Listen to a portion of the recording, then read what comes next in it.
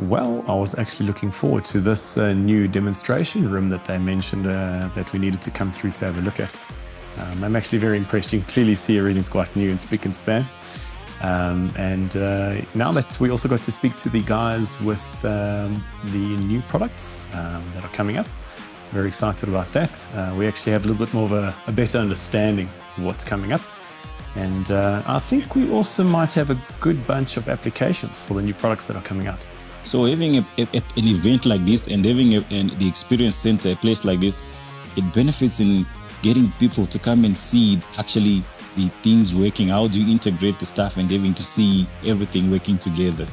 Well, uh, it helps me a lot to see what's coming in the future.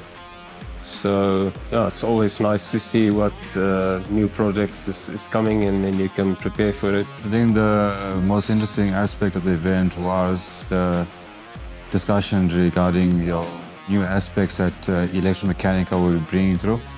Uh, development in the VSDs, uh, the motion control PLCs as well. That's quite a major factor in my specific industry in the food and uh, packaging industry. So yeah, I'm quite excited about that there.